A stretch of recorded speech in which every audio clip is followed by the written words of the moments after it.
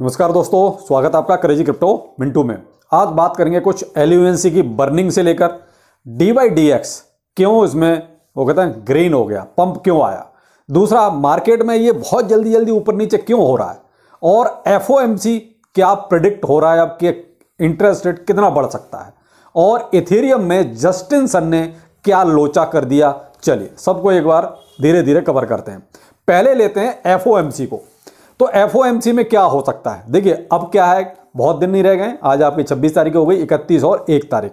दो तीन दिन, चार दिन में आपको ये सारी चीज़ें मालूम पड़ जाएँगी क्या चल रहा है। लेकिन क्या है कि मार्केट के हिसाब से प्रिडिक्शन पहले शुरू हो जाती हैं। तो वही कुछ अब प्रिडिक्शन चल रही जो क्रिप्टो के लिए और मार्केट के लिए अच्छी होंगी। अब उम्मीद ये की जा रही है कि zero point two five percent के हिसाब से इंटरेस्ट इंक्रीज किया जा सकता है। तो ये तो बहुत कम हो गया साहब। जो कहते हैं प्रिडिक्शन हो रहा था पहले, उससे तो बहुत कम हो गया, कि zero point two five percent बहुत कम है। और अस्सी परसेंट लोग इस चीज़ को मान के चल रहे हैं कि अब जो इंटरेस्ट रेट होगा, वो ये होगा। ये होगा तो कहीं ना कहीं हरियाली एक अच्छी खासी आपको देखने को मिल सकती है, क्योंकि मार्केट आजकल पॉजिटिव चीज़ों को भी, वो कहते हैं रिकनाइज कर रहा है। कुछ पॉजिटिव आता है तो मार्केट आपको ऊपर को दिखाई देता ही है। पहले हम पॉजिटिव बात करेंगे, उसके बाद नेगेटिव भी हैं, वो भी बात करेंगे। फिर लेते हैं डी वाई डी एक्स को। देखिए साहब डी वाई डी एक्स के ऊपर मैंने आपको एक पहले भी दिया था। ये क्या, अकेला ये नहीं था, उसमें बहुत सारे टोकन थे जिसमें अनलॉक होनी थी सप्लाई तो यहाँ डी वाई डी एक्स के लिए एक चीज़ इंपॉर्टेंट होगी वो ये हो गई कि साहब, इन्होंने जो अनलॉकिंग करनी थी, यानी कि लगभग डेढ़ सौ मिलियन टोकन्स की, वो अब ये नहीं कर रहे हैं, इसको इन्होंने पोस्टपोन कर दिया है। तो साहब, देखिए, जब कोई चीज़ ऐसी होगी, तब ये कह रहे थे कि साहब, हम इसको, ये अनलॉकिंग है, वो तो होगी। लेकिन अब ये कह रहे हैं कि हम इसको अनलॉक अभी नहीं कर रहे हैं, इसको पोस्टपोन कर रहे हैं। तो उसका इंपैक्ट आपको देखिए प्राइस पर भी नज़र आया। अब यहाँ पर मैं आपको एक चीज़ और कहना चाहूँगा।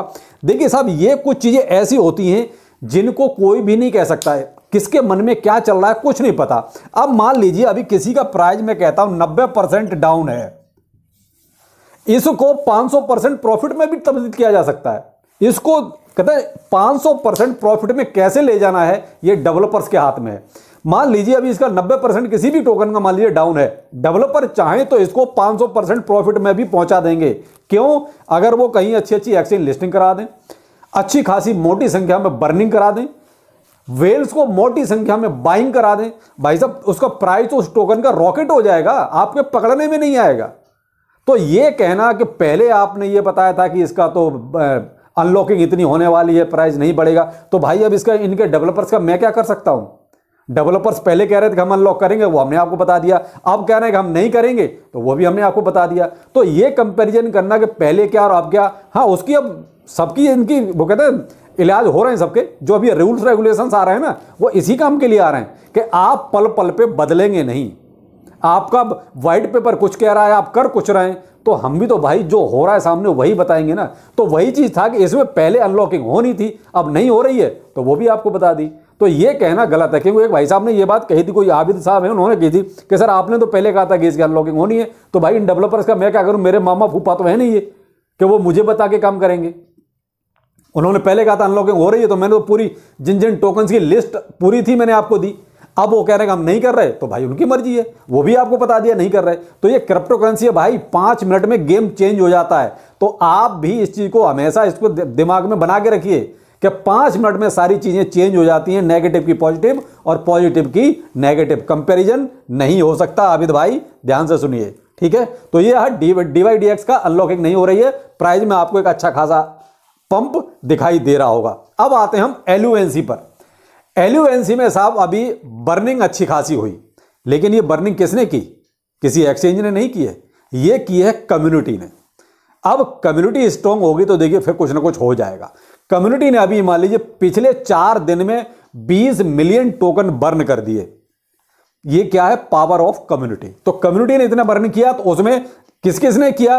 हैपो इन्होंने ज़्यादा ज़्यादा बर्न किया। उसमें हैप्पी कैथी क्रिप्टो, इसने 9 मिलियन जो है टोकन बर्न किए। कौन से? एलयूएनसी। और क्रिएशन कॉइन ने किए हैं सात million seven point two million LUNC burn किए।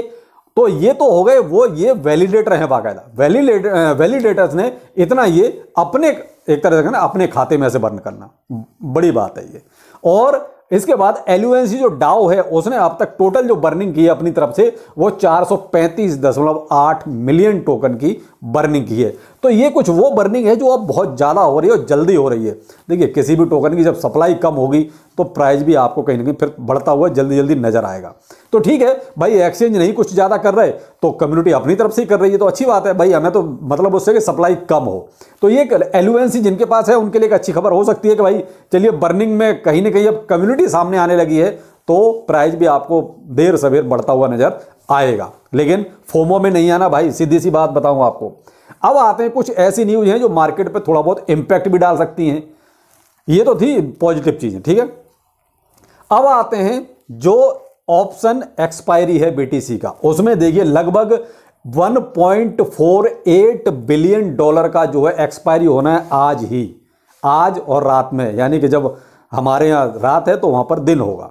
तो आप ये मान लीजिए, आज ही मान लीजिए, क्योंकि ये कुछ एक बजे के बाद ऐसा चला जाएगा, कुछ एक बजे से पहले रह जाएगा। तो आप आज ही मान के चलें कि 1.48 बिलियन बीटीसी की आज ही एक्सपायरी भी होनी है तो ये कहीं ना कहीं मार्केट को बहुत ज़्यादा ऊपर नीचे कर सकता है।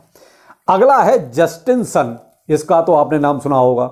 इसने क्या करा है, कम से कम दस हज़ार इथेरियम को पोलोनिस एक्सचेंज पर भेजा है बेचने के लिए। ये इथेरियम के लिए थोड़ा सा ट्रबल पैदा कर सकता है। देखिए, मैं ये नहीं कह रहा हो जाएगा। आजकल मार्केट बिल्कुल उल्टा करता है सब कुछ। यानी कि न्यूज़ कुछ चलती है मार्केट कहीं चलता है मार्केट कहीं चलता है तो न्यूज़ कहीं चलती है। आजकल सब कुछ उल्टा हो रहा है। तो मेरा काम है आपको जो चीज़ चल रही है वो बताना। यहाँ जस्टिन सन ने लगभग 15 मिलियन डॉलर के इथेरियम पोलोनिक्स एक्सचेंज पर भेजे हैं बेचने के लिए। अब भाई बेचेगा तो भाई दस हज़ार इथेरियम है। इथेरियम कोई दो चार भी नहीं है, दस हज़ार इथेरियम का हिसाब किताब है। तो मे भी कुछ थोड़ा बहुत इथेरियम के प्राइस में ऊपर नीचे हो सकता है। तो भाई थोड़ा सा हिसाब से देख लीजिएगा आप जो भी है, मेरा काम है आपको बताना। एक तरह से आगाह करना। मार्केट का क्या होगा, वो तो आप देखिएगा। अगला है साहब, अमेरिका से न्यूज़ है और अभी काफ़ी थोड़ा सा ट्रेंड हो गई। और वो ट्रेंड इसलिए हो गई, एलिजाबेथ वार्न है, ये हैं सीनेटर हैं, यानी कि वहाँ की सांसद हैं। उन्होंने एसएससी को बोला है भाई कि आप जो है क्रिप्टो में जो कुछ हो रहा है उसको बहुत ही सख्त कानून बनाइए। वो इसलिए कि उन्होंने कहा कि पिछले 12 महीने में जितने फ्रॉड हुए हैं, वो केवल और केवल एक्सचेंजों की गलती से हुए हैं। इसमें सारे के सारे एक्सचेंज ही ज़्यादा, वो कहते हैं कि एक्सचेंज और डेवलपर। ये क्या है कि अपने ही वज़न से दबे हुए हैं। इन्होंने इतना ज़्यादा वो घपलेबाजी कर ली है कि ये अपने ही वज़न से दबे हुए हैं।